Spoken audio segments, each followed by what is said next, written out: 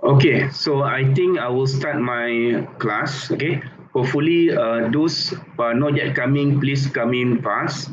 So if you have problem, never mind.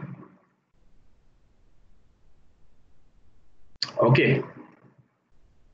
Okay, Assalamualaikum warahmatullahi wabarakatuh and very good evening. Okay, so today we will conduct our uh, lab lecture classroom regarding uh, topic of uh, roots finding using Octave.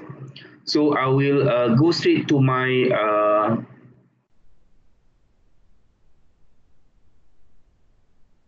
to my PowerPoint. Okay, so all of you can see my desktop. Can you see the desktop? Yes, sir. Okay. Yes, sir. Okay, good. Okay, uh, before we start our class, I want to go through uh, the lesson plan that we have uh, gone through before because there is some small modifications only that has been uh, uh, done on this lesson plan. So we have stopped somewhere lab number four before this, eh? lab number four. And suddenly uh, on lab number five, we, we have our uh, PKP because of the COVID-19. So should be in this week, we will study about numerical solution of simultaneous equations. However, if you still remember uh, in the class, I have mentioned that we have to conduct this uh, lecture on root locations. Eh? So uh, in that sense, I will uh, put this topic in this lab number five which is using MATLAB for root locations. And the rest of the lesson plan will be the same as you have before. There is no uh, much changes. And you, as you know that we will have our Aidilfitri uh, break somewhere on 25th of May until 3 of June, eh? about 10 days of break. And three weeks after that will be your uh, practical test eh, that will be conducted by online. So for the timing, you just accept that it will done by online. And if you have some modification on this, then I will tell you uh, before that, at least uh, two or three weeks before that. Eh? So for the timing, just assume that on the week 13, all of you will go through the online practical test. Okay? So we will start our uh, lecture. Okay, so our lecture is, oh, sorry, okay, is uh, using MATLAB for roots locations. So in this topic, we will find the roots of nonlinear equations using two uh, method, which is uh, the bisection method and the Newton-Raphson method. Okay? So before we start our class, as usual, we have to go through the learning outcomes. So the learning outcome that you have to master in these two hours and this is to able to write a correct and runnable octave script in order to execute the bisection method and do the same thing also to execute Newton-Raphson method. Okay? So uh, for the third one is to plot the graph of equations. So maybe you can use other uh, software, maybe such as Excel, eh? Uh, because uh, I found that octaves have some problem to plot the graph. Eh? So for the time being, we just stick to these two learning outcomes and the third learning outcome can be done by another software such as Excel. Okay. Okay, so for the introduction part, uh, in uh, your civil engineering uh, fields, right, you will face a lot of problem, especially to solve nonlinear equations. Eh? So what is example of nonlinear equations? So example of nonlinear equation will be the polynomial equation. If you still remember your mathematics, polynomials. Okay, and to ensure that this polynomial equation to be a nonlinear, the power of the highest order will be must be more than one. So example of polynomial equation will be y is equal to ex squared, okay, plus bx plus c So this is the power of higher order is 2, okay, which is more than 1. Or maybe you can have a, a cubic equations, ex cubed plus bx squared, okay, plus cx and plus a constant d and so on. Eh? So you can go from n is equal to 2, from n is equal to 3, n equal to 4 until uh, until whatever power that you want. Another poly uh, non-linear equations will be the trigonometric equations. Okay, trigo, where you have uh, sine x. Okay, maybe you have also cos cos x. Okay, tangent. Maybe you have secant. Remember secant, what is secant? Okay, cosecant, oops, and so on. Okay, those are example of another polynomial uh, nonlinear equations. And maybe also you have another type of equation called as logarithmic equations. Maybe you have come across this word when you do your mathematics, logarithmic equation such as log, eh, log 10, eh, log 10x, okay? Or maybe you have ln, eh, ln x, and so on.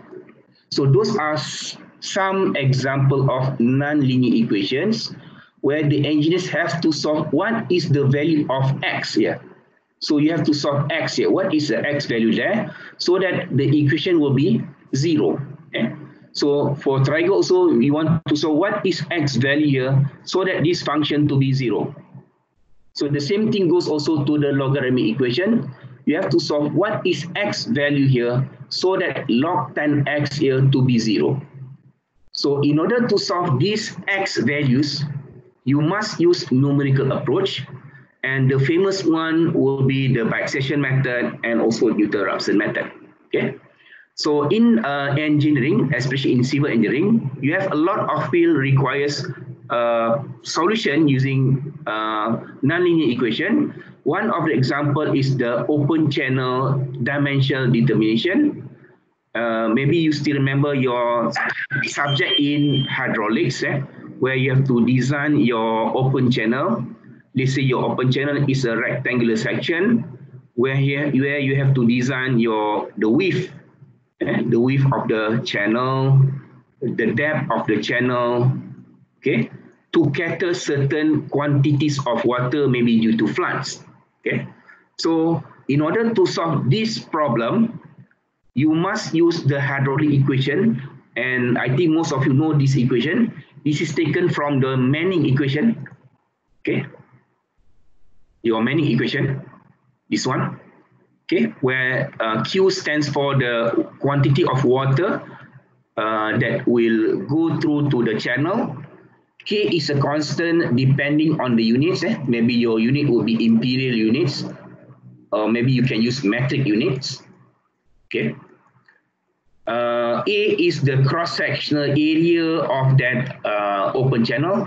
So if the channel uh, is a rectangular, so the area will be B times H, isn't it?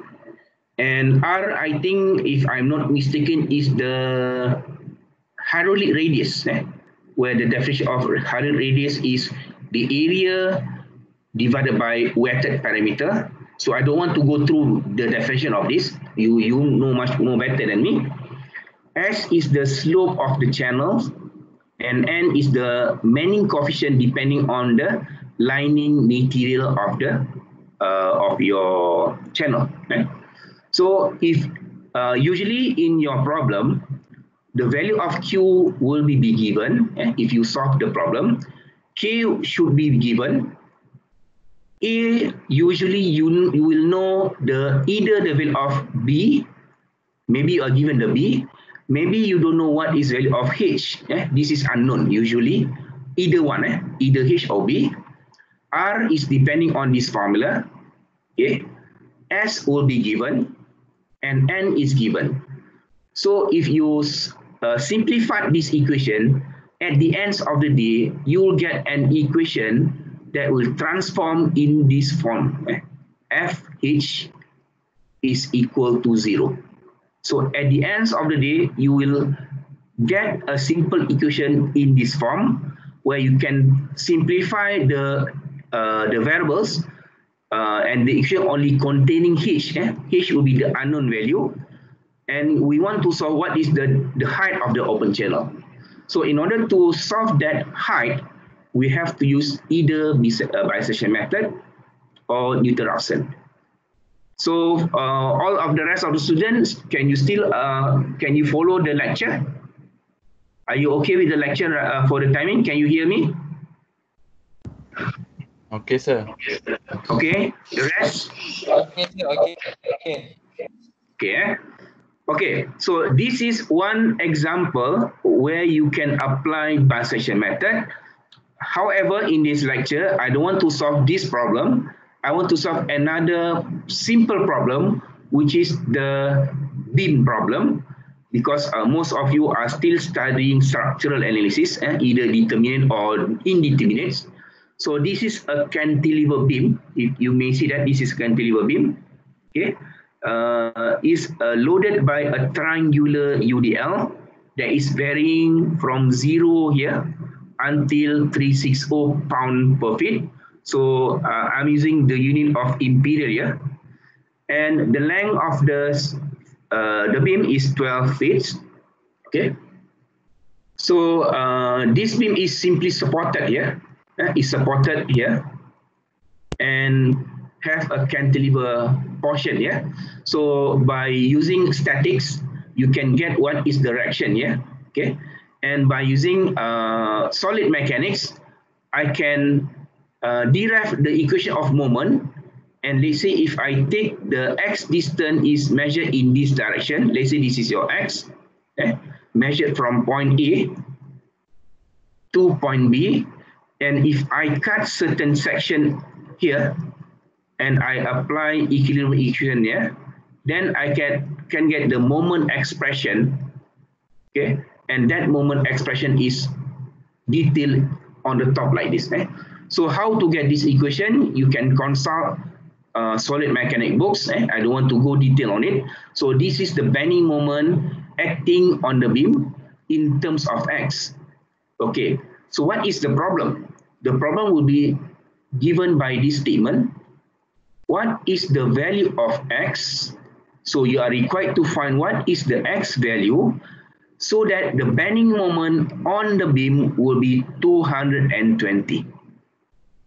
So your problem is what is the distance x on this beam? So if you uh, calculate the bending moment, the value of that bending moment at that x position will be 220. So that is the problem. Okay. So how to do that? Eh? How to solve that? So we must understand that what is the variable of interest here? The variable of interest that you want to solve is x. And you are required that to find what is the bending moment uh, value of x so that you can get 220. So I will uh, put my equation in this manner. And by using your algebra, you can take this 220 from the right side to the left side. So your mx minus 220, you get 0. And this equation, I will name it as fx. Okay, fx. Eh? Meaning that your fx here is equal to 120x minus 5 over 6x cubed minus 220. So this is your fx. Eh? This is your fx. And your fx is equal to 0. So this is the equation that you want to solve. Okay. 120x minus 5 over 6x cubed minus 220 is equal to x. So what is the value of x here? So in order to solve this value of x, again, you have to use bisection method or Newton-Raphson method. So uh, is there any question from the floor? Any questions arise before we proceed with the bisection method? Sir. Okay, are you clear? Yes. Betul eh? Yes, sir. Okay. If there's no question, I'll proceed to the next slide. Okay. So in order to use bisection method, so this slide is for bisection method. Eh? Bisection method. So uh, uh, is it Puan uh, Ashikin uh, have taught you about this method, bisection?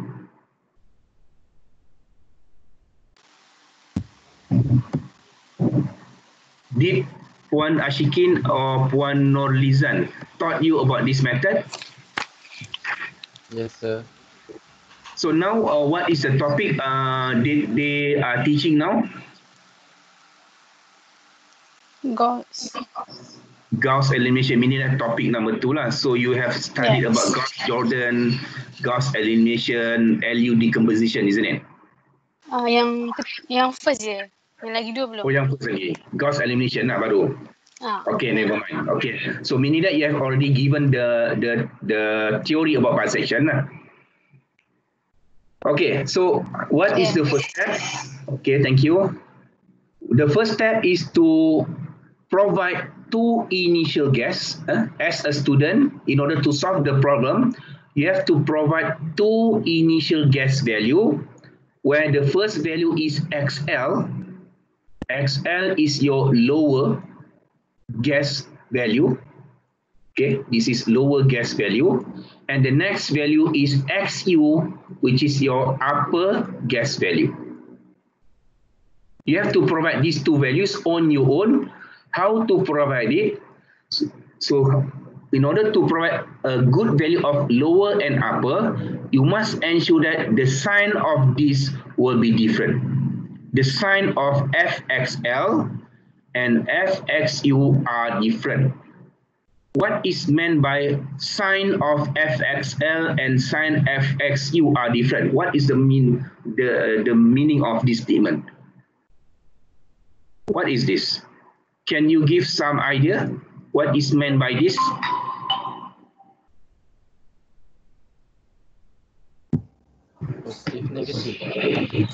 So different sign. Maybe maybe if you substitute the first XL to this equation, oh sorry, the first equation, the, the first value,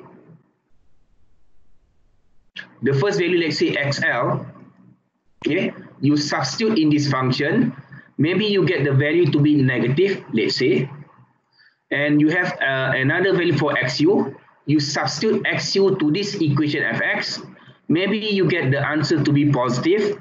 So now you can see that both have different sign value.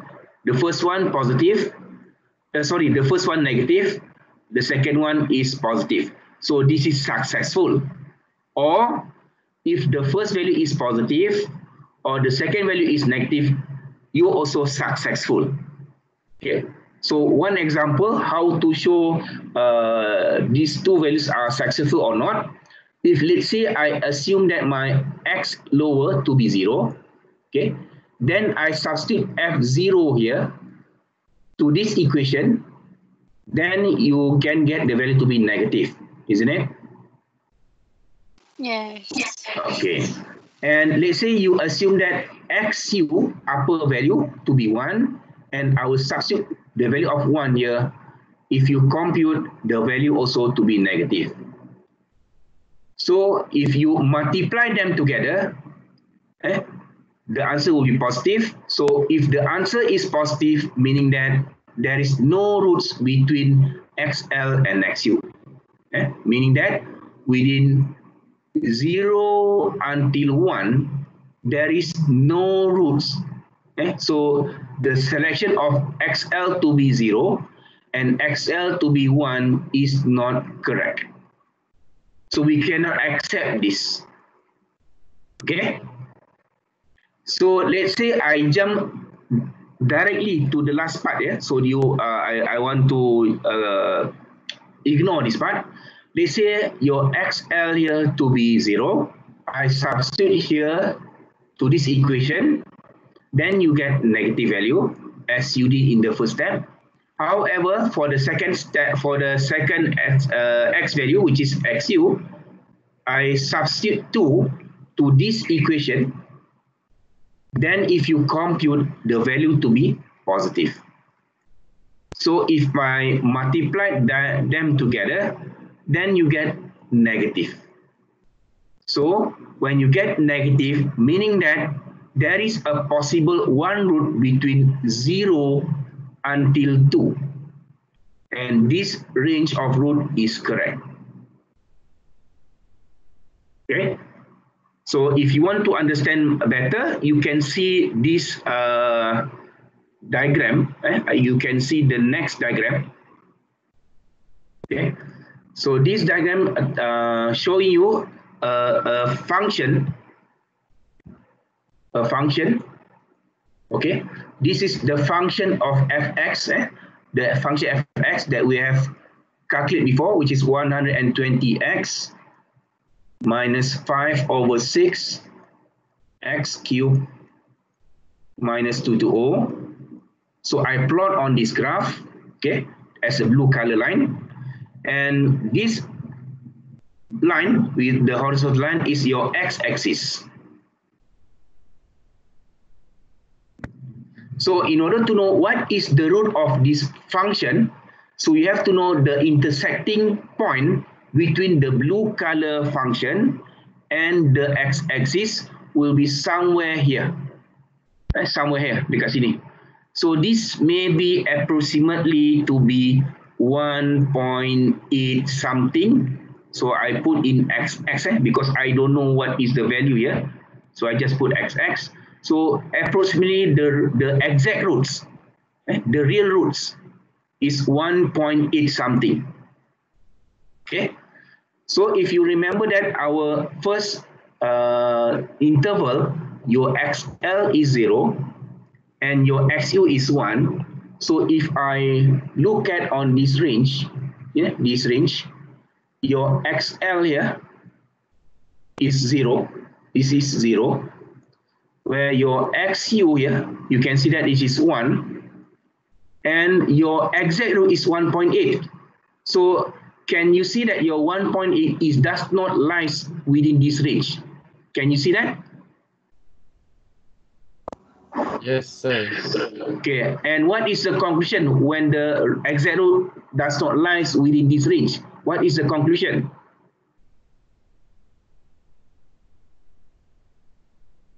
what is the conclusion? If the this range does not containing the exact root, what is the conclusion? No exist. There is no roots, no roots, no root between 0 until 1. So this interval cannot be accepted. Okay, so I jump through across to the, the third uh, interval. Eh? So I don't want to discuss about this one. So if you still remember, our first XL here to be 0 and our X upper here to be 2. Okay? If you still remember this, this one, eh? this one, 0 until 2.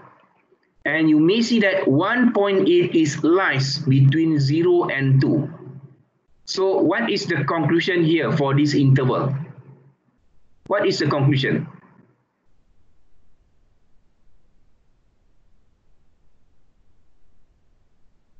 Anyone? What is the conclusion for this interval when XL is 0, X upper is 2? So you have root. So you have roots between 0 until 2.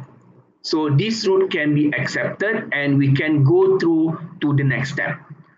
If there is no roots, you cannot go to the further steps. Eh? You have to find the roots interval.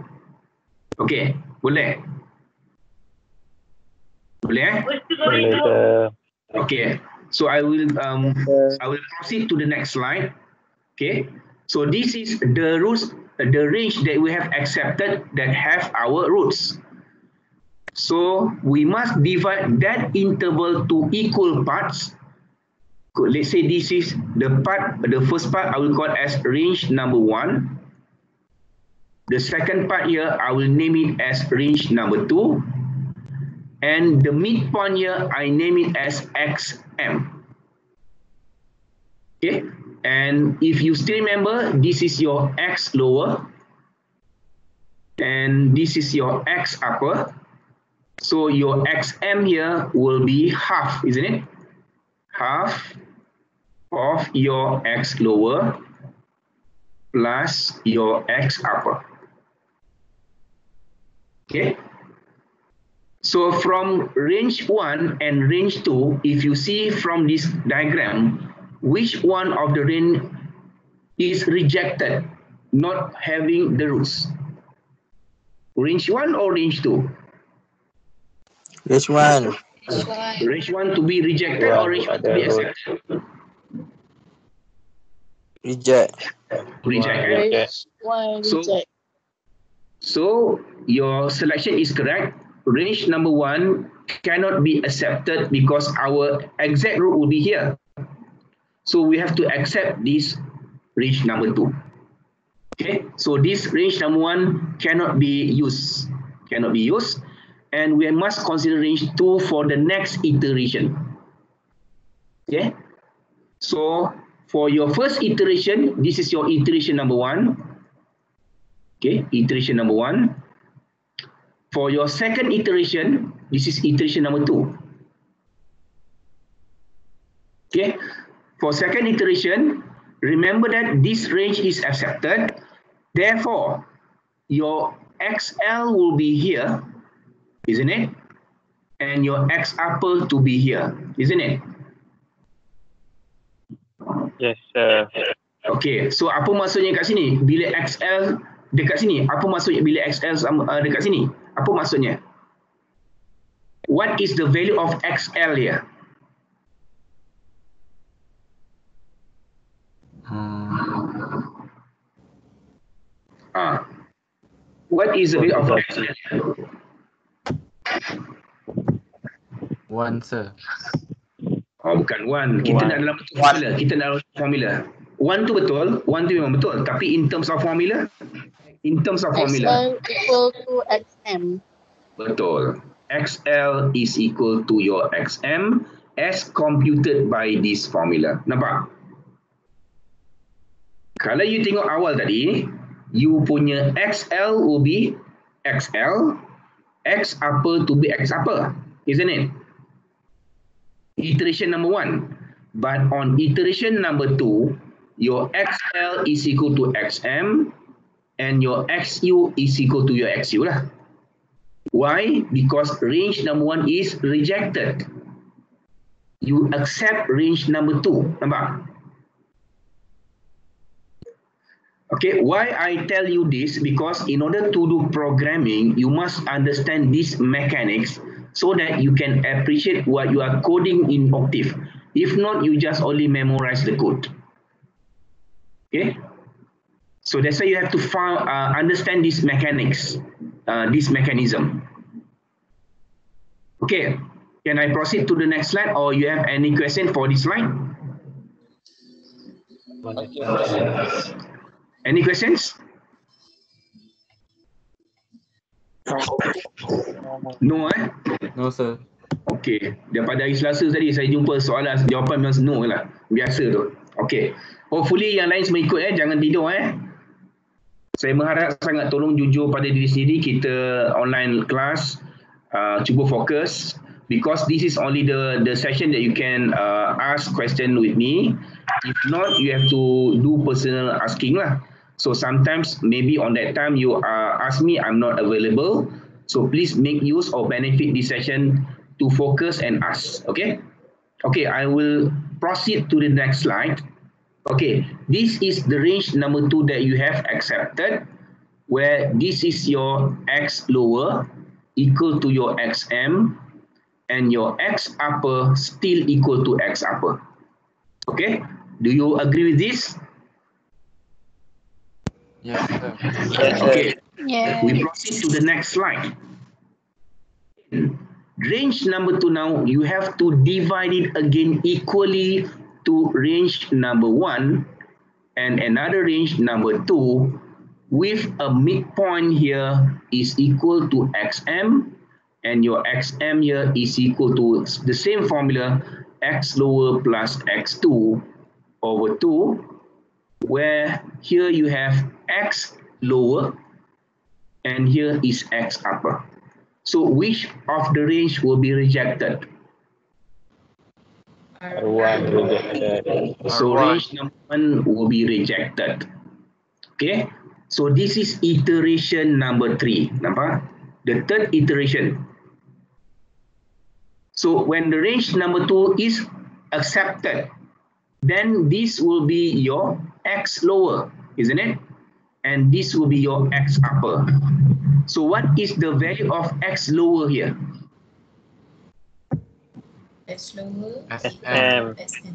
xm. Okay, so x lower is equal to xm, x upper still the same as x upper. Okay, we proceed with the next slide.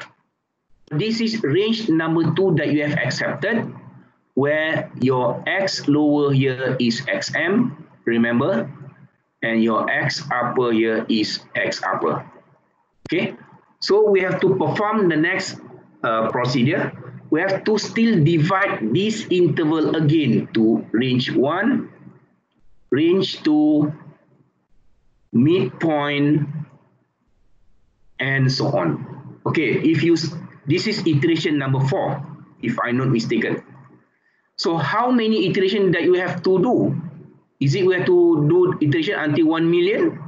So can you suggest me what how to stop this process?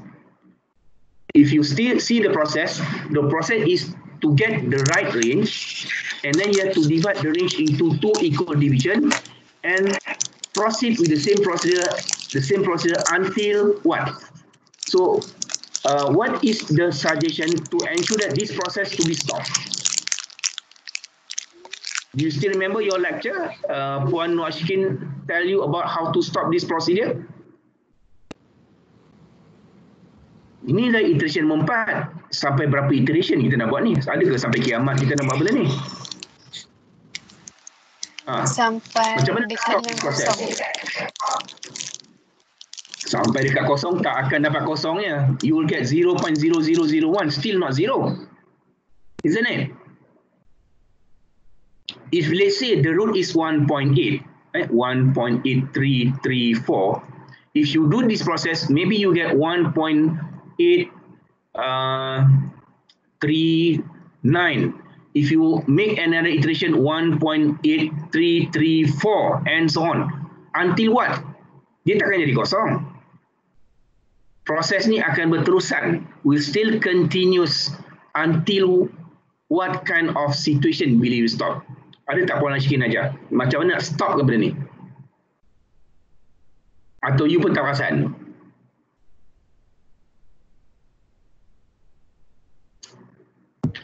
Tahu sir.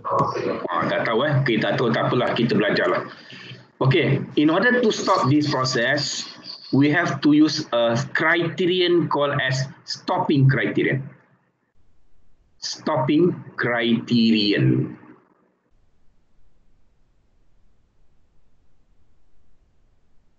So what is the stopping criterion? There is a stopping criterion in your books or in your notes maybe. You have to ensure that epsilon A must be always less than epsilon S. Ingat tak ni? Epsilon E and epsilon S in your lecture notes?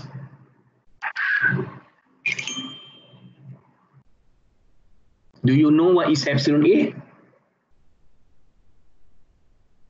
And epsilon S?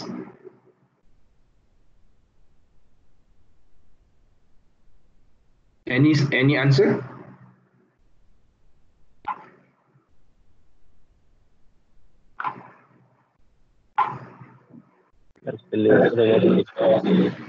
Hmm, macam mana? What is epsilon A? Ni, epsilon A. What is epsilon A?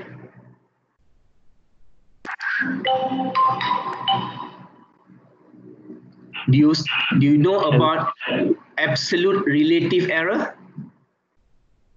Absolute relative error. Ha, ni buka nota ke tak buka nota ni? Bukan sir. Ha, buka nota, buka textbook. absolute relative error is your epsilon A. And what is the formula of epsilon A? There is a formula for it.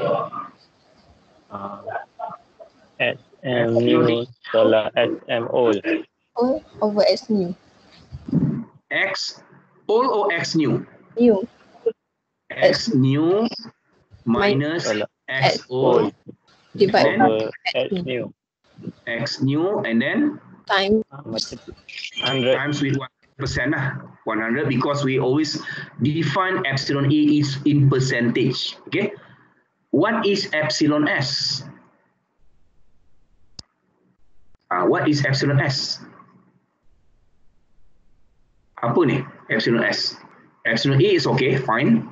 Epsilon S?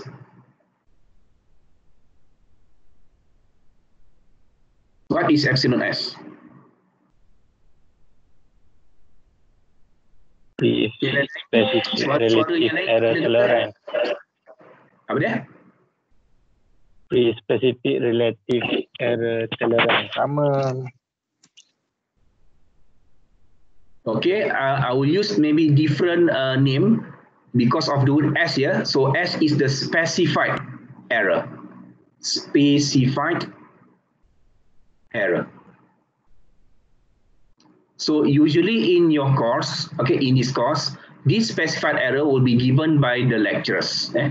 So usually the value is within 1% to 5%.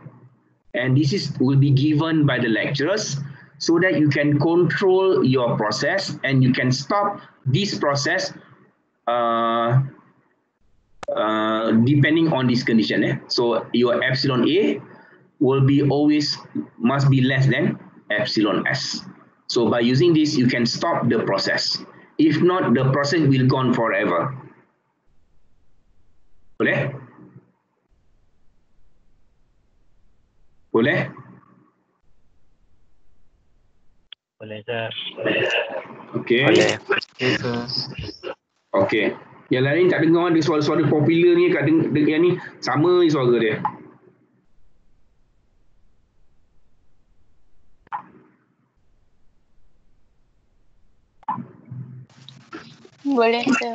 Okay. So I will proceed with the next slide. Okay, the next slide is the starting of your programming because in order to uh, to perform programming, you must understand the algorithm. Eh? The algorithm of bisection method. So if you understand this algorithm, then you can do the program of bisection. Okay, what you have to do, first of all, you have to know, you have to ask the user, what is your lower guess value, XL, you have to ask the user what is your upper guess value? Okay and the third one you have to ask the user what is your epsilon s? Okay? the specified relative error as that i said is between 1 to 5 percent which is given by the lecturer. Okay so in the beginning you have to ask the user these three values okay boleh Boleh Boleh, sir. sir. Boleh. boleh. Boleh. And after that, okay, and after that, what you do, this will be the next step. You have to find what is the value of fx lower, and you have to find the value of fx upper. And usually, I will assign the answer to one variable, let's say f1, and this is to, to be to f2. Okay. And if I found this uh, solution, then I will multiply them together. So F1 times F2. Okay. So if F1 times F2 is greater than zero, so what is the conclusion? What is the conclusion if F1 times F2? Maksudnya apa tu? Is there any sign changes or there is sign changes? Uh, stop program. Apa dia? No sign. No sign changes. no sign changes, meaning that the user have entered wrong value of XL or wrong value of XU, and I will I will uh, to make that the user awake, uh, uh, reminded by that one. I will stop the program so that the user knows that I have entered a wrong value. Okay. Otherwise, otherwise maksudnya apa? Otherwise meaning that when this product is less than zero, then you have the roots within that bracket. You have the roots and barulah you boleh compute this midpoint value XM. Okay, XM is your X lower plus X upper divided by 2. If this condition is still uh, achieved, you cannot get XM value. Memang tak boleh. Kenapa tak boleh? Sebab saya dah stop program ni. Nampak ni? Saya stop. But once the interval is correct, then I can able to perform this procedure to find the uh, interval. Eh, sebab you punya XL and X apa tu dah betul. Kalau tak betul, saya memang arahkan octave stop. Kita tak bagi can terus. Eh, kita bagi can ni betul kembali XL dan X apa, baru boleh buat the next step. Eh, macam you ambil subjek lah. Ada subjek tu prerequisite, selagi you tak lepas ambil prerequisite tu, you tak boleh ambil subjek ke depan. Ha, macam tu lah. Faham tak? Faham saya. Okay, faham eh? Um, Okay. Um, So the next step if to check this. This is that we call as stopping criterion. Ni stopping criterion yang saya ajar tadi. Stopping criterion. Stopping criterion. Okay. Macam mana saya tahu this is stopping criterion? If you still remember this is the formula of epsilon a. Isn't it and this is your epsilon s.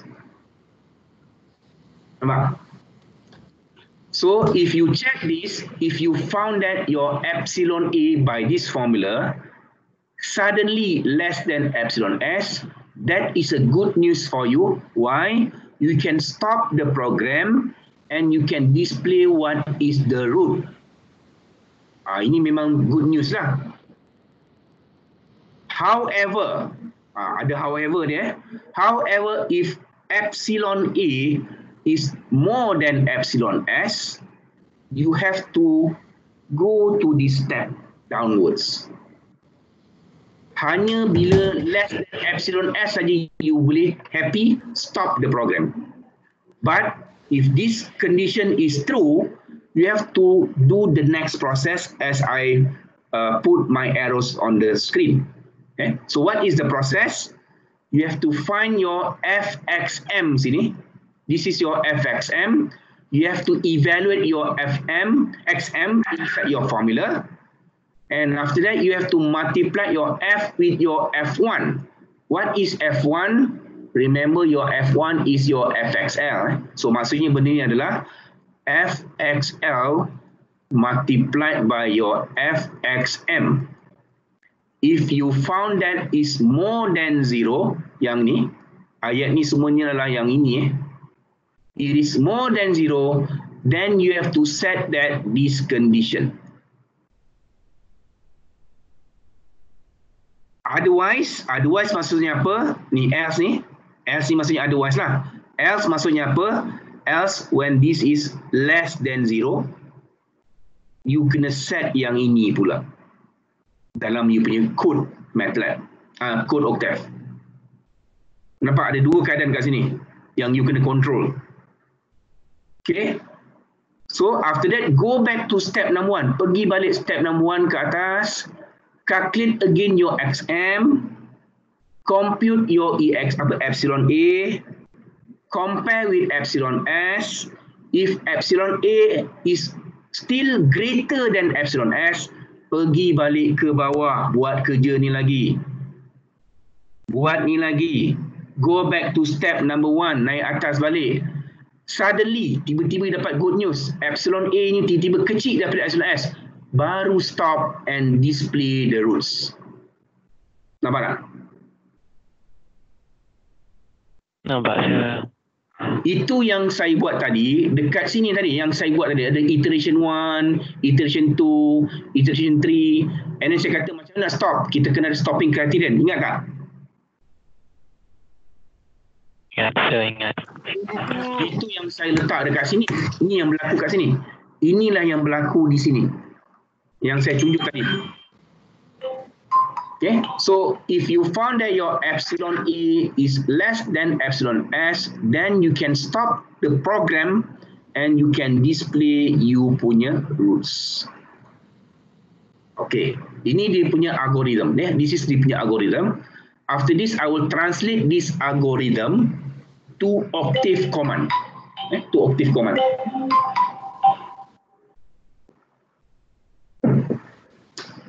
So are you ready with the code uh, octave command or octave programming? Okay, boleh saya pergi pada programming? Boleh, boleh. Ready, Okay. ready. Okay, are you uh, penat ke apa nak rest dalam 5 minutes ke? Macam mana? Boleh sir. Boleh terus eh? Tak nak, tak nak rehat 5 minit ke apa? Tak nak eh? Boleh. Boleh sir, boleh. Ikut Boleh. sir. Ah, saya ikut you juga. Kena tengok dekat you. Kalau you tak sihat ke tak larat pun kena rehat juga kan? Mana dah tahu yang tak sihat? tak apa kat rumah. Okay. Okay, Alhamdulillah eh. Boleh baring-baring, golek-golek sambil kita tengok kuliah. No problem. Yang penting, ah, tak kisahlah cara apa pun. Yang penting, you focus. Eh? Okay, so now I will explain how to perform octave programming using bisection method. So before doing that, eh, before doing that, I want to uh, show you how to open uh, Octave. Maybe some of you have done it, but I just want to uh, revise. Uh, first of all, you have to install Octave lah. Eh, you tak install Octave memang tak boleh buat apa lah. Install Octave first, and then you can click your start menu, and please find GNU Octave folder. Eh, GNU Octave. Okay. So if you look carefully, my Octave version is quite old because the new version is 5.2. So there is no much different at all. In actual, you can also use your 5.2 much more better than me lah. So I'm using the old one, never mind, still okay. So just open this folder and first of all, click the Octave CLI. You ada dua jenis kat sini. First one is CLI, second one is Graphical User Interface. So please click CLI and you have this black screen appeared and you must ensure that Octave number one appeared on the screen and a blinking cursor will be there. So please minimize this window. Jangan close. Eh. Minimize saja to make it active. And after that, again open Octave. Eh. Find Octave folder. Octave folder, which is GNU. Now you run GN, uh, GUI, eh. Graphical User Interface. So I have tried to open only one, but if you open, let's say GUI without CLI, this program cannot run. So you must be open concurrently, serentak. Eh, ini dulu, kemudian klik ini. Ah, okay. So this is the dia punya uh, graphical user interface lah. You can drag this window to make it smaller or bigger. Okay, so you can type the command here lah. Let's say CLC, eh, as you learned before, to clear the screen. So you can see that I'm clearing the screen. I can clear the variables, clear all, and so on. Okay? Setakat ni okay? Okay sir. Okay. Okay, sir. Okay, how to create script file? How to create script file? Very easy. You point the mouse to this file menu, click to the new, and click new script. Right? File, new, new script. So once I click this new script, then you have a script appeared in front of you. So di sini lah you boleh type, you boleh lah. Contohnya bisection method, say and then you have XL is equal to zero, eh? XU, sama je command ni macam MATLAB, memang tak ada beza pun. Eh? So I put semicolon di hujung ni to suppress the output. Eh? Okay, so if let's say I want to run this code, let's say, katalah code saya ni dah selesai, sebenarnya banyak lagi, I just click this button run, click save file and run, Okay. Ah, kena bagi nama lah. Saya save let's say in desktop. I name it as testing let's say. Okay. And click this change directory. Click saja change directory. And in order to see what is the output, you can click inside the command window punya tab. Eh, kat bawah ni ada command window. Klik command window, memang tak ada apa-apa lah. Sebab kenapa tak ada apa-apa? Because I suppress the output. So if let's say I don't want to, I want to see the output, I must delete that command, delete that semicolon. I run it again and you may see that your output there. Nampak tu ada? Output Excel is 0, SL is equal to. Nampak? Eh, itu contoh lah. Boleh? Boleh. Boleh. Okay. Kalau boleh, we go through now one by one each line of the codes. Okay. So, uh, as a good programmer, as usual, you must start your program by these two lines. The first one is to clear the screen as usual. The second line is to clear the variable. So in practical test, if you do this, I will give you marks, eh, at least one. So if you don't perform this, there is no mark for you for these two lines. So just typing these two lines, you already get marks. So this is a good behavior of MATLAB ataupun Octave programmer to start the program by putting these two lines. You dapat markah free kalau you buat dua benda ni. Okay? Boleh? Boleh sir. Okay, so the next Okay, the next line after this is to register your function. eh, To register your function. Ataupun you want to define the function. Eh, Register or define the function. Define your non-linear function. Okay, how to define it? Remember that your function, uh, the given function before, I have to proceed to the previous slides. Okay, this is your function. Yang ni. Nampak ni? This is your function. 120x minus 5 over 6x cube minus 220. So all of this is your fx. Ataupun you nak guna simbol mx pun boleh, tak ada masalah. Saya gunakan fx. Okay, so I have to define this function in my Octave memory. So how to do that? Okay. Remember that your function is fx is equal to 120x minus 5 over 6x cubed minus 220. So in MATLAB, in order to define this, nampak ni yang saya garis ni, fx equal, eh, ni semua ni.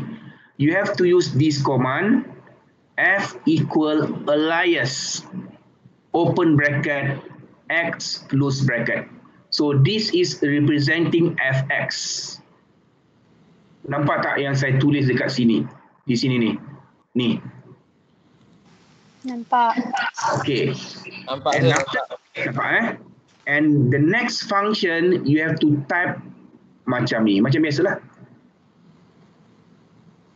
Eh, 120 times x. Oh, jangan lupa tentang asterisk ni sebab dia darab minus 5 over 6 times x to the power of 3 minus 220. And I want to suppress the output, I put semicolon. So that's how you define function in MATLAB ataupun in Octave. Okay?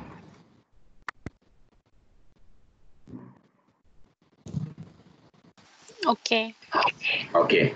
So the next part is to define your epsilon s. eh. Remember, epsilon s is given by the lecturers, usually from 1 to 5%. In this case, I'm using 1%.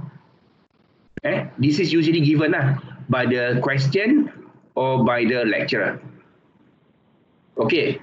And the top one here, I have also to define a certain value of epsilon A. Kenapa saya kena letak 100 kat sini? Why? Why 100? Kenapa kena define 100?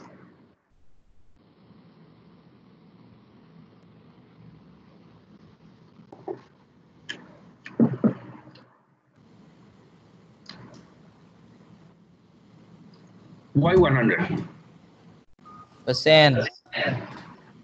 Apa yang persen? 100% sir. 100%. Betul lah 100%. Tapi why kita tak kira dengan formula yang kita ada? Kita ada formula kan? Apa tadi formula? X old minus X new bagi dengan X new. Over Kenapa X tak new. nak kira dengan ni? Kenapa tak nak kira dengan ni? Formula dah ada kan? Tapi saya sengaja lah letak value. Why? Kenapa? Sebab tu initial value sebelum kira sir. Initial value what? Apa dia? Macam dah betul tu. Apa dia? Terangkan sikit lebih. Initial value sebelum kita kira semua. Adik. Uh, baru dalam 50% lah menjawab. Menghampirilah tapi baru separuh tu. Sebabnya, cuba you tengok betul-betul eh, daripada sini sampailah sini, ada tak nilai X old kat dalam situ? Ada tak? Tak ada sir. Tak ada. X new ada tak? Habis tu macam nak kira X, X epsilon A? Memang tak boleh kira kan? Betul. Jadi saya kena set a dummy value for it. A dummy value. A dummy value. A fake value. Why? Because we want to ensure that this stopping criterion tak stop. Kalau kalau you tak define nanti dia akan stop. So apa you punya stopping criterion? Epsilon A kena lebih kecil daripada epsilon S baru stop kan? Ha So kalaulah epsilon A ni 0.5, dia stop tak rasanya? Kalau katalah bukan 100, epsilon A saya letak 0.1, epsilon S memang 1, is it this condition stop? stop. So kalau stop tak gunalah kita nak buat a method. Kita nak dia teruskan dulu, kemudian baru dia update epsilon A. So that's why I have to put a very large value from epsilon s. So you boleh letak sini nilai apalah. Oh, 2 juta boleh, 3 bilion pun boleh, 5 bilion pun boleh. As long as must more greater than epsilon s. It's a dummy value. Okay. Okay, sir. Further. So saya, so I have to uh, explain you one line by line to ensure that you understand and appreciate each line of the coding so that you are not only memorizing the code but you understand one by one. That's why I explain very very detail. Ah, itu sebabnya saya bersungguh-sungguh cerita ni sebab saya tak nak you hafal. You must understand. Line by line. Ah, dia ada cerita dia. Dia bukannya kita type je. Ada cerita dia tu. Setiap satu ni. Ya, Dia punya huraian itu. Okay. The next part after this is to define your lower limits, lower gas value XL and upper gas value. So I will choose the the correct value lah supaya kita punya program tak tak, tak ada problem. XL to be 0 and XU to be 2 eh, because within that range your code will be running well, isn't it? Kan ini tadi acceptable range kan? Yeah. Okay. And after this okay, what you should do, you have to check the sign changes, isn't it? Remember? Yes. Okay, so in order to set, uh, check sign changes, I have to substitute XL yang you get from here to function F. What is your function F? Function F you define dekat sini. Nampak? So you substitute XL and submit here and dia compute balik, dia masuk sini balik FXL. Here XU will be substitute here, masuk dalam F and then that function will be compute and get the value here. This value multiplied this value, that product will be stored in sign one variable. Nampak tak? So this step is to check, is to find the, the value of fxl times with fxu to find this value. What is this value? And this value saya letak dalam variable assign one. Any questions? Not yet. Not yet, eh? Okay. So I will go to the next, uh, proceed with the next slide. Okay, remember that your sign one with sign one is what? Sign one tadi saya dah beritahu is your FXL multiplied by FXU, isn't it? Yes. Okay, if this Yes. sign is less than zero, apa conclusion dia?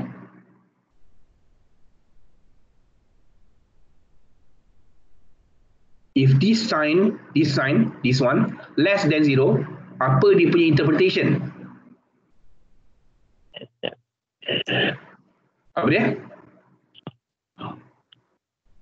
Accept tu. Ada root dalam tu. there is root within that XL and XU. So that's why I will I will display on the screen, eh, display this statement on the computer screen. There is root within this bracket. Else, ah, okay, bila jumpa else ni maksudnya when your sign one is more than zero. So apa jadinya? Apa beritanya kalau sign one is more than zero?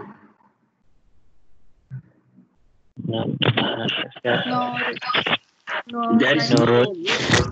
Okay, kemudian saya akan buat satu statement yang kejam.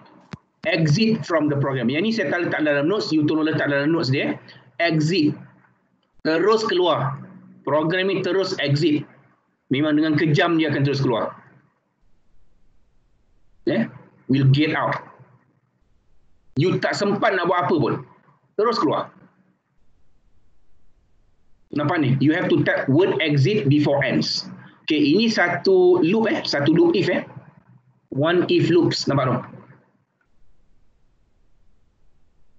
So maksudnya this program will only allows you to be only successful only. Dia tak boleh benarkan you a failure. Okay? A successful uh, uh, when is the condition?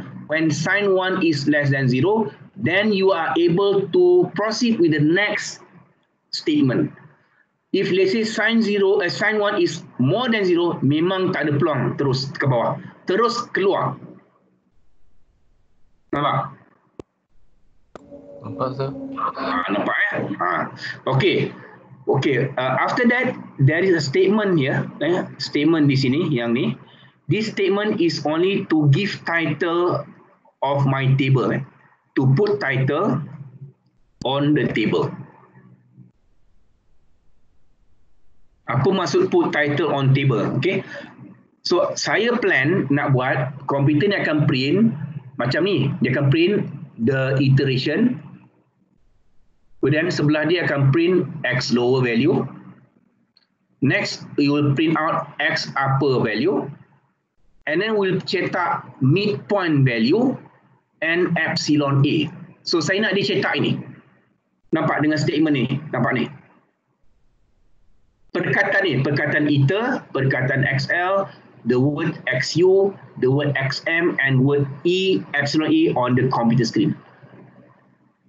Okay? And then this statement yang di bawah ni, this statement will put underline. So nampak macam table lah. Nampak tak tu? Nampak tak tu? Nampak sir? Okay. What this statement stand for what? Ni, DISP, kemudian dia ada apostrophe, blank, tak ada apa-apa situ. And then suddenly apostrophe. What, what, apa yang nak buat sebenarnya kat situ? Nak buat apa sebenarnya? Dia sama statement ni lah, yang ni. Sama. It's the same statement. What this statement doing what? Bagi ruang kosong. Nah, maksudnya kita akan bagi macam ada empty line kat sini lah. Maksudnya table you akan nampak cantik lah. So you ada satu statement on the top and then the blank line kemudian baru tulis kat bawah tu. Eh? So this is my planning lah. So that uh, we can see the iteration number XL, XU, XM and epsilon A. Boleh? Okay, sorry eh. Hopefully you can bear with me sebab saya explain line by line. Ada 83 line ni. Ya, kita akan ada lagi uh, 3 slide untuk yang ni lagi. Line by line. Sebab saya tak nak you hafal. You understand. You appreciate line by line. Sebab kita bukan buat kod ni untuk dihafal. Kita buat kod untuk dipaham. Okay, so what we'll do after that, we start our iteration from zero. Mana pula mouse saya ni? Sekejap eh. Okay, ada pun. Ah ni, we'll start our iteration from zero. Okay, and then once the sign one is less than zero, then we can allow midpoint to be computed. Eh? Midpoint ni, if you still remember, the formula is half of XL plus XU. Eh? So half al 0.5 lah kan. It's the same thing of 1 divided by 2. So this statement can be only execute if sign 1 less than 0 tau. Kalau sign 1 more than 0, jangan harap you boleh kira ni. Cannot. Eh? If sign 1 only less than 0, then you can execute this statement. Baru ada harapan statement ni nak capai. Okay? Okay. Okay, we proceed okay. to the next slide. Okay. Ah, sekarang ni kita akan berada pada satu gelung while loop yang besar. Gelung ni dia punya loop eh. While epsilon A, remember that your epsilon A I have defined in the beginning to be 100, a dummy value. Masih ingat? Yes. Yes. Yes. Epsilon A saya letak tadi 1. Yes, Does sir. this statement is true or false? True. True meaning that apa akan jadi? We have to execute the whole statement here. Okay, sir. Sengaja saya lepaskan true. Faham tak? Okay. If this statement is true, memang true pun, we start to perform the next iteration. So the next iteration will be 0 plus 1. Mana datang 0 ni?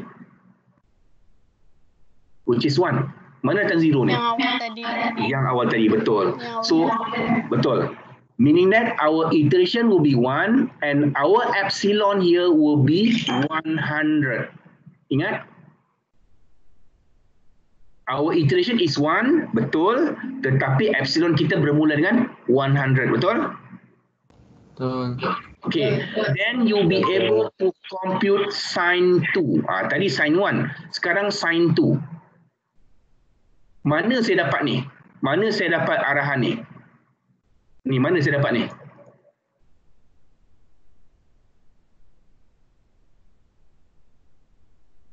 Okay, rujuk balik pada uh, algorithm. Eh, refer to our algorithm. Remember this. Mana pula ni? Ini. Ini. Nampak tak ni? Saya rujuk ini. This is sin 2. This is sin 2. FXL multiplied by FXM. This is sin 2. Nampak tak? Nampak saya. Okay, nampak. That's why I'm using that algorithm. Sebab itu saya kata algorithm memang you kena faham. Then you can able to code. Uh, you can able to code. Nah, ini yang saya buat ni. Nampak ni? Saya ikut dia. So if this sign 2, okay, less than 0. Okay, macam mana saya tahu less than 0? Ada tak statement tadi dalam algorithm tadi? If this value is more than 0. So maksudnya kalau less than 0, yang ni lah. This is less than 0. So I have to set my x to be x2 and my f to be f2. So that's why I will set when sign 2 less than 0, I have to set this. Ni, I have to set this.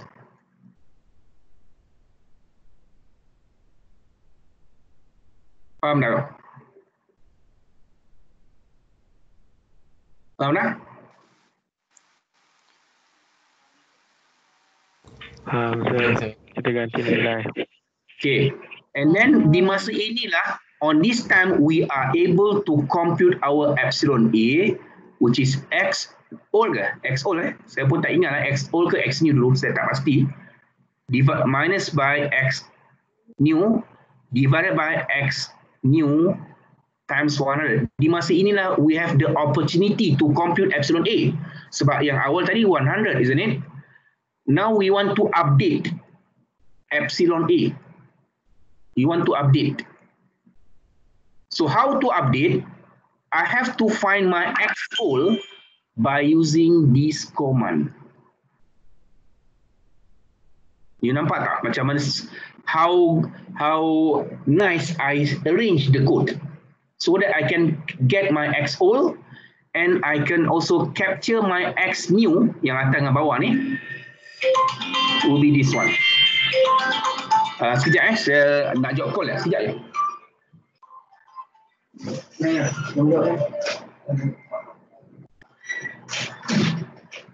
Okay. Can you see that how I can get my X old and X new? Yes.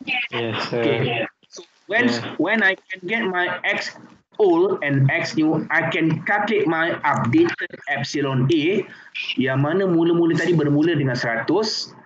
Now I can get the next epsilon A for the next iteration. Saya dah siap ada lah epsilon A. So maybe on this stage epsilon A saya bukan 100 lagi. Maybe jadi 66%. Maybe. Maybe because we have now the new value of xm and the old value of xm. Nampak? Okay? Okay. Okay. Next, I will proceed the next slide. Jangan hiraukan yang ini dulu. Yang ini jangan hirau dulu. Kita tengok yang ini dulu. Okay. The first, kenapa saya tak suruh tak hirau ini? Because this is the case when sign 2 less than 0. Betul? This is the case when sign 2 more than 0. Can you see that? There are two cases. When this sign 2 more than 0, you have to set this. You have to set this. Nampak? And also, I can able to compute my epsilon A using the same formula, x old minus xn divided by xn, where I can capture my old value here from this command and my new here from this command. I can get updated value of epsilon A when the case sign 2 more than 0. Yang tadi tu sign 2 less than 0, saya pun kira epsilon. Sign 2 more than 0 pun I can compute my updated epsilon A. Nampak tak? Nampak sir? Nampak eh? Okay. Now I will go back to the previous slide. Okay, previous slide. Eh? Welcome balik. Consider this case again. Consider case sign to less than zero. Okay, beri akan buat benda ni. Okay. Ni masih lagi sign to less than zero. Eh? If the iteration value is equal to one, maksudnya yang tadi ni, yang awal ni, kan kita punya iteration ni sama dengan one, eh? betul tak? Nampak tak? Okay. Betul. Okay, when iteration is equal to 1, apakah nilai epsilon A kita sebenarnya? Bila iteration 1 is, berapa nilai dia?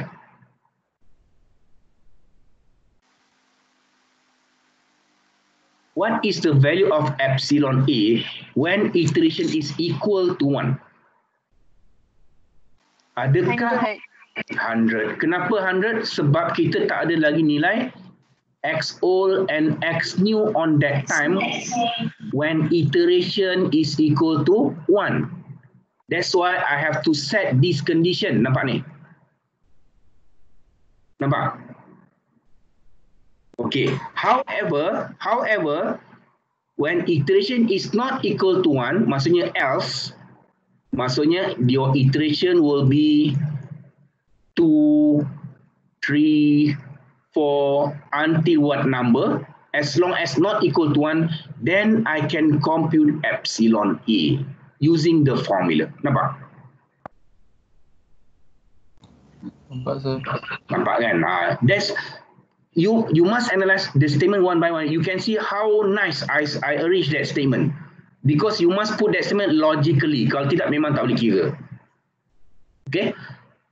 So that is the case for sign 2 less than 0. Okay. Now consider case sign 2 more than 0. You akan buat benda ni. Tadi kita dah bincang. Next, we have to put the same statement yang kita buat tadi. Same statement. Eh? When iteration is equal to 1, epsilon A is equal 100. When iteration not equal to 1, you can compute epsilon A using the formula. Nampak?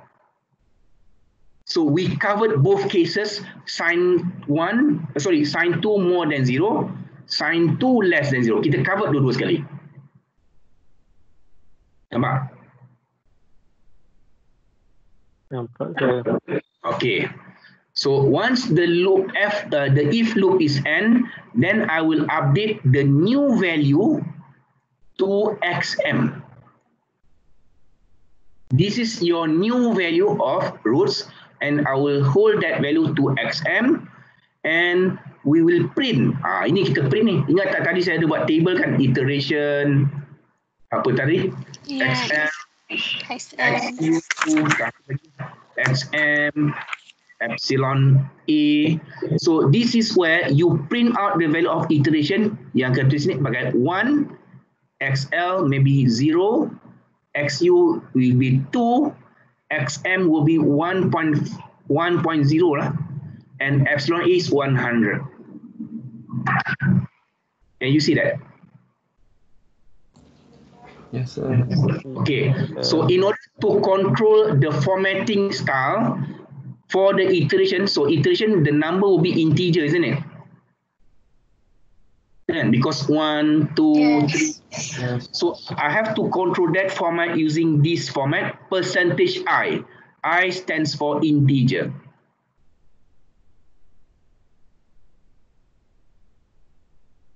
Bah. Okay. XL, XU, XM, epsilon A, all are numbers which is have decimals, isn't it? Then it's not, Yes. Yes. Yes. or we call it as floating, isn't it? Floating numbers. Yes. So that's why I'm using symbol F here. Can you see that symbol F for all of the values, which is uh, this is your XL, this is for your XU, this is for your XM, and last one is for your epsilon A. Okay, so this we call it as formatting style, eh? format style. We control the format. Saya rasa dan C++ ni ada belajar kot pasal ni. Format style ni. Kan? Tak ada. Tak ada. Ah, tak tahulah kenapa lecture tak ajar. Kesian you. Okay. So nampak tak ni simbol ni? Slash n. What is the meaning of slash n? What we will do? Slash n ni. This. It will, it will do what? Skip your line. uh, you will enter the line meaning that you you will you will you macam letak you macam tekan button enter and dia akan prepare for the next line okay supaya we kita, kita boleh isi what is the value here what is value here what is value here and so on nampak Nampak. Nampak. Okay. So before we end, kita tak boleh end ni. Nampak je word end. Kita tak boleh end. We have to go back to the previous slide. Ke mana? Ke while loop ni. Daripada bawah tadi naik balik ke sini. Semak lagi. Does our epsilon A is still greater than epsilon S? Katalah tadi kita dapat 66%. Does this is still true? Yes. So kalau true apa kena buat? Yeah. kena teruskan lagi. So meaning that your iteration now is is starting from 1 plus 1 which is 2. Dah jadi 2 pula. Kira pula ni. Kira ini, kira ini, kira ini, kira ini until lah dia akan cetak ni. So you akan dapat the next iteration will be this will be 2. Yang ini maybe 1.5 maybe saya tak pasti. This is maybe 2 1.75 and this one will be maybe 66 maybe I do not know okay and sebelum dia pergi end dia pergi naik balik ke atas sampai while loop ni katalah saya pendekkan cerita I short the story let's say this to be 0.1 let's say so does this statement is true or false False. false is is good news for you why you can end the loop barulah boleh end barulah habis ceritanya Maksudnya maybe iteration kedua saya dia habis. Contohnya lah. Contoh. Saya tak tahu berapa iteration. I do not know. Okay.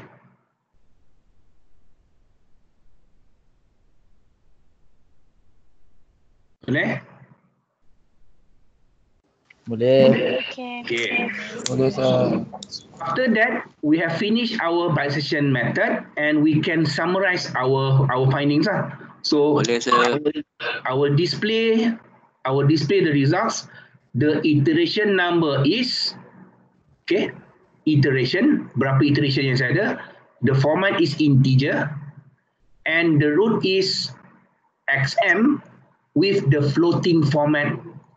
Okay, and I'll put enter, eh, space, eh, ataupun space ataupun enter so that you can see a conclusion of that uh, of your iteration ataupun bisection methods. Okay. Okay, kita tengok uh, kita tengok kod uh, MATLAB. We will see one demonstration of the MATLAB. So I will open the code already have written it. So I'll just open it. Open.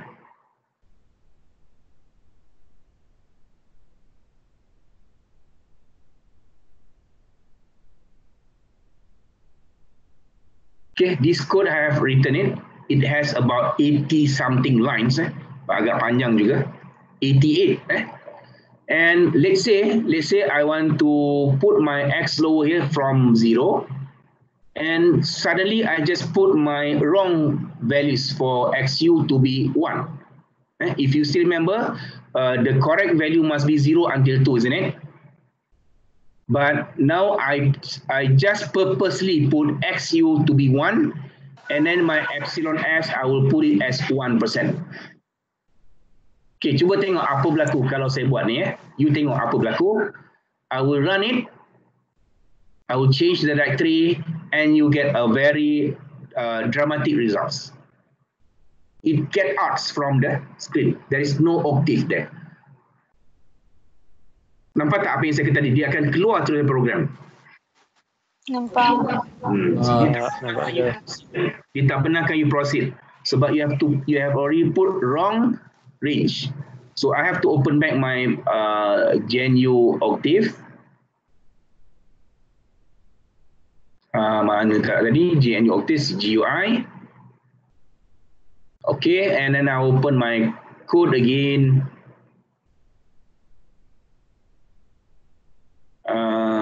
It? Okay, and I'll put the the the good value for it, which is two. Okay, and I will run it. And to see the answer or the result, you must point your mouse to command window, and you can see that the tables listing the iterations. Eh? So uh, there is a display called as there is root within the bracket. Okay. And as I said, I will put the the title of the table iteration. So yang ni beranjak sikit eh. You boleh tarikkan eh. You boleh pandai-pandai tarik. And then I'll put underline for it. Nak bagi dia cantik. So the first iteration, the lower value is 1. The upper value is 2. The mid value is 1.5. Can you see that the beginning epsilon A is 100? Okay. Yeah. Okay, now we will be reduce, Okay. reduce, reduce, reduce until epsilon A less than 1%. You nampak tak eh? 0.81 which is less than 1%, dia akan stop at iteration 6. So, the report will be the iteration number is 6, yang ni, with the root of 1.890625. Nampak? Nampak. Nampak saya. Cuba Nampak. saya ubah saya ubah epsilon s ni kata lebih kecil, kata 0.0001 lah. Memang very very small. So see what will happen to the program if I run with such small epsilon s. I will run it and you may see that the iteration number will be much more greater than 6. Kenapa rasanya dia besar? Daripada 6. Sekarang dah jadi 20. Why? Nampak eh? From 100 16, 7, 3, 1 until this value will be less than epsilon s, then it will be stopped at iteration 20 with the value of 1.879436. Nampak? So if I want to evaluate my fxm, eh, my xm value, I can compute xm. So if I want to compute my xm, the value will be almost zero lah. 0.0002. Eh? Okay? Boleh? Okay, sir. Okay. Soalan saya. Kita proceed with the next last method which is Newton-Raphson. This is a very fast method compared bisection method, memang very fast. Why is so fast? Because you just only use this formula. This is the formula that you use to compute your roots. And the first formula here, this is defining your future roots, your future roots or some textbooks call it as next roots. Okay. And this is your current roots, eh? your current roots.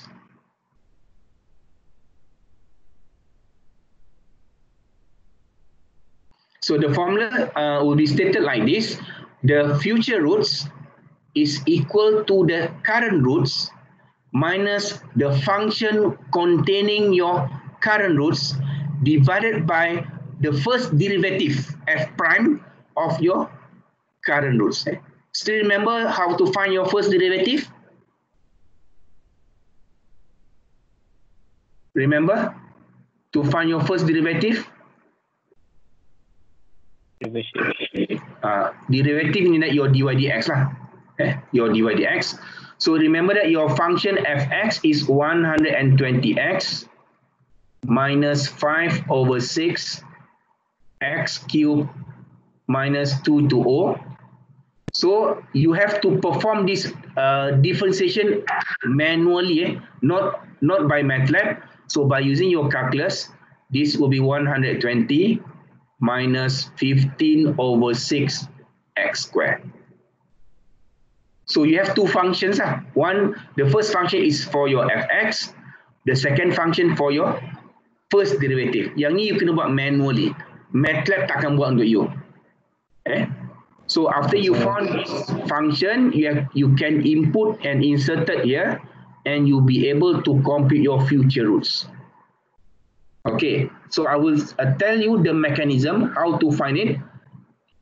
So let's say this is your fx that you want to find the roots. Eh? So I will use this line. This is your fx. So in your case, your fx is maybe 120 degree lah. x minus 5 over 6, x cubed minus 2 to o. So from the graph, you may see that the graph will be intersecting x value somewhere here. So this is your exact roots. Your exact roots.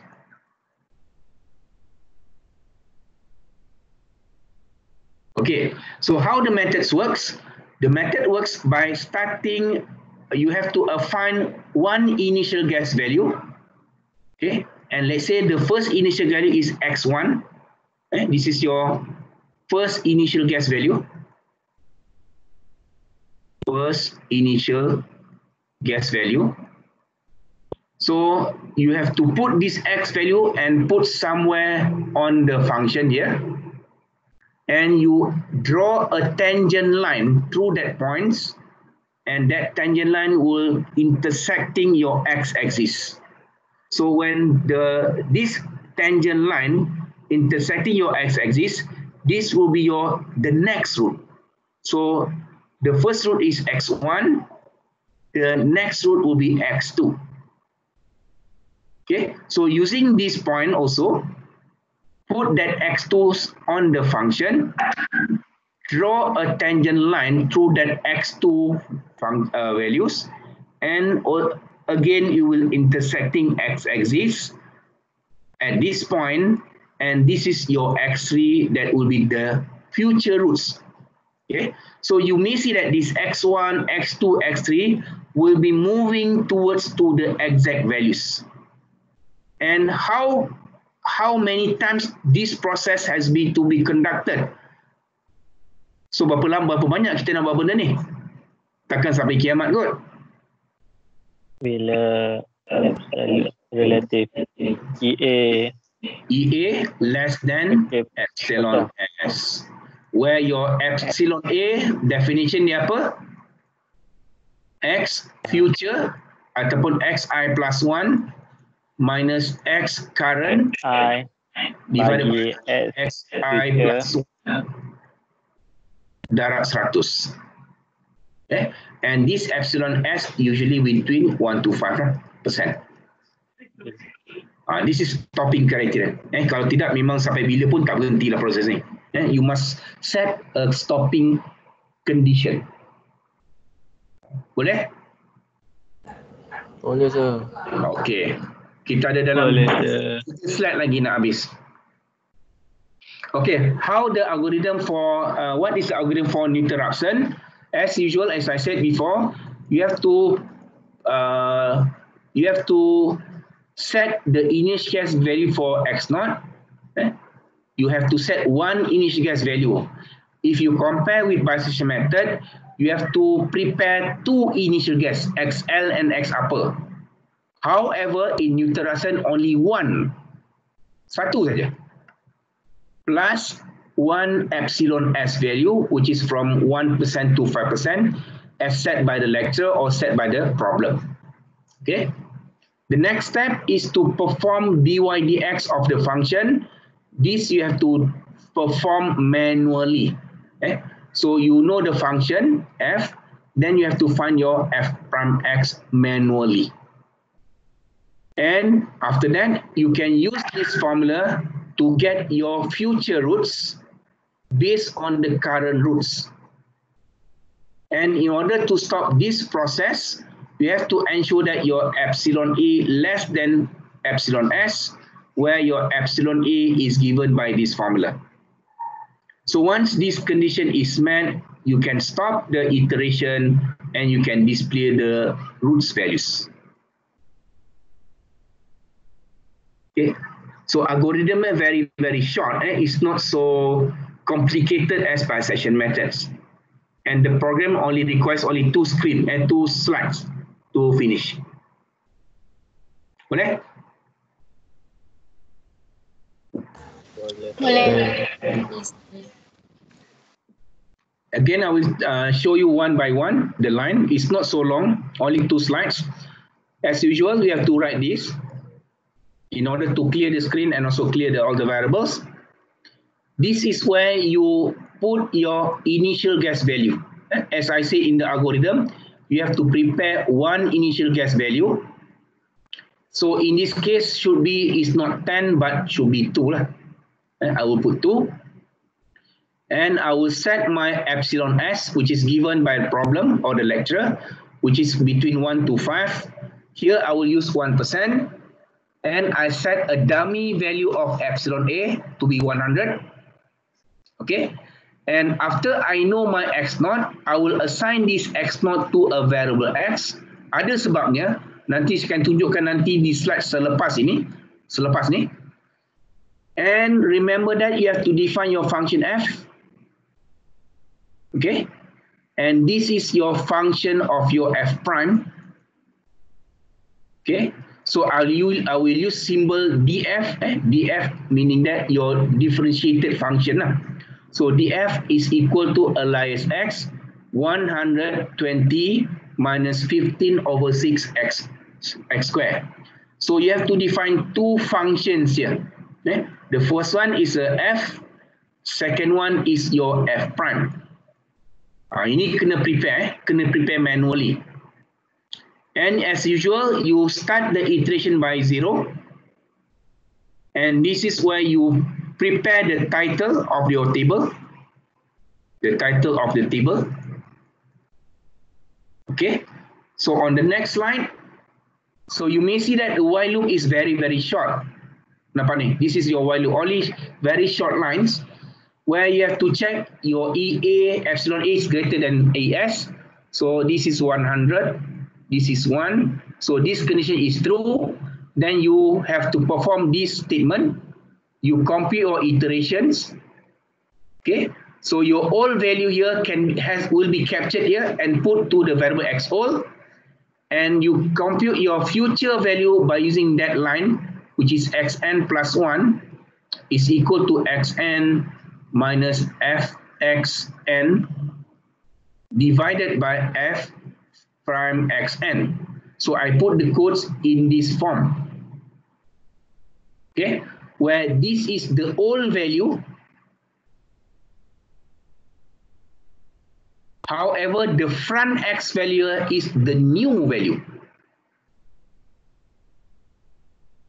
So, so that's why you may see that on the top here, the, the current value x will be old.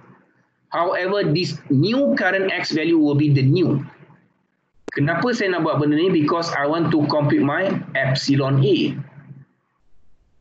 Eh, remember the formula of epsilon A? Eh?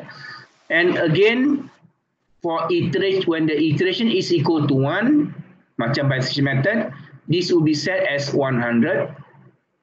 But when the iteration is not equal to 1, then you will be able to compute your epsilon A.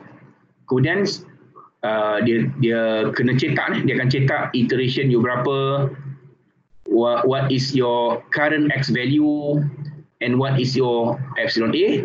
Sebelum dia pergi N ni, dia patah balik naik atas, check balik epsilon A ni. Selagi statement this is true, then go further ke bawah and again and again until your epsilon A less than epsilon S, then it will be N, the loop. Baru habis. Eh? And after that, you can print out your conclusions. Boleh? Boleh sir. Okay, kita tengok code eh. We will see the codes. Eh? We open the octave and I will open back my code which is interruption. Okay. And I put here to be 2 and my epsilon s here I will put to be 1. You may see that the code is very short. It's about 36 lines compared to by session 88 line. Eh? Very, very short. So I will run it and you may see that just only two iteration. You nampak tak? Dia meloncat daripada 100 terus jadi 0.03. Very, very fast. Compared to bisection method, you require six iterations. And you get the answer to be 1.879435 by two iteration with error of this, which is less than 1%. Nampak tak? Very fast. Nampak sir. Nampak eh? Two Nampak iterations. dah.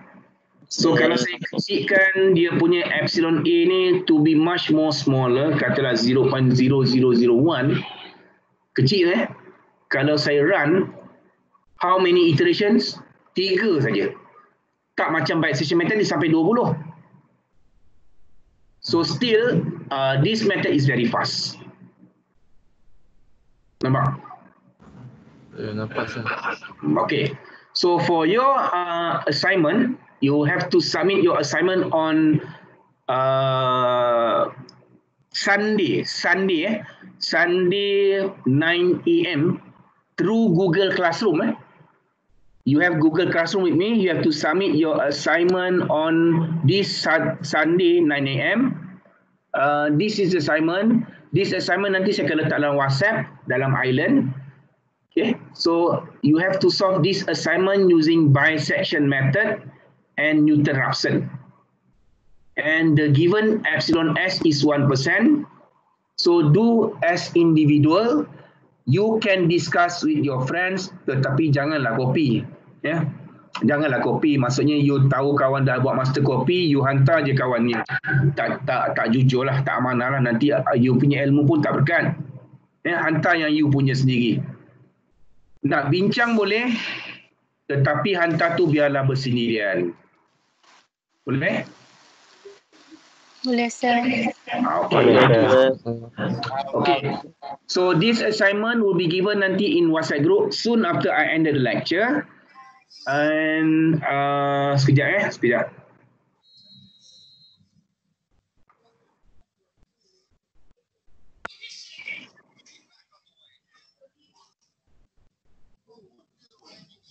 Sekejap ya, sekejap. Jangan jangan get out dulu. Sekejap, sekejap. Tak apa, tak apa, tak apa. Uh, takut kan ada pula okay. ada sikit not, uh, ni pengumuman sekejap.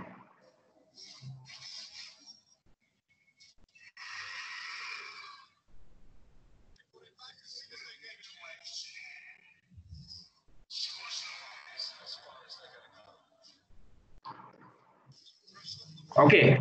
Uh, apa tadi cakap? Okay, your attendance will be given after this. Uh, group A1, uh, one Google Form.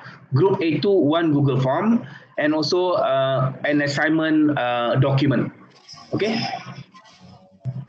So is there any question before we ended our classroom session?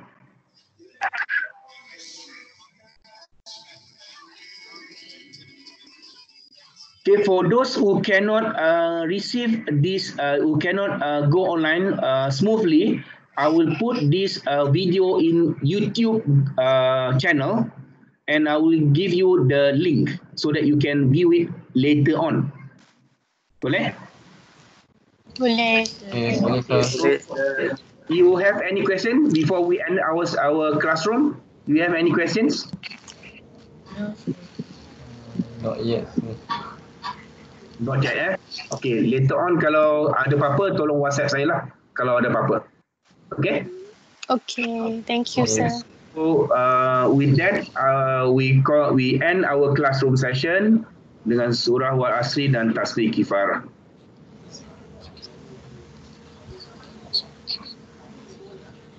Okey, terima kasih banyak-banyak. Uh, semoga semuanya sihat, eh, stay safe dan uh, selamat belajar. Okey, assalamualaikum. Okay, thank you, sir. Waalaikumsalam. Thank you, sir. Thank you, sir. Sama-sama. Okey, assalamualaikum. Salam. Salam. Sini dah.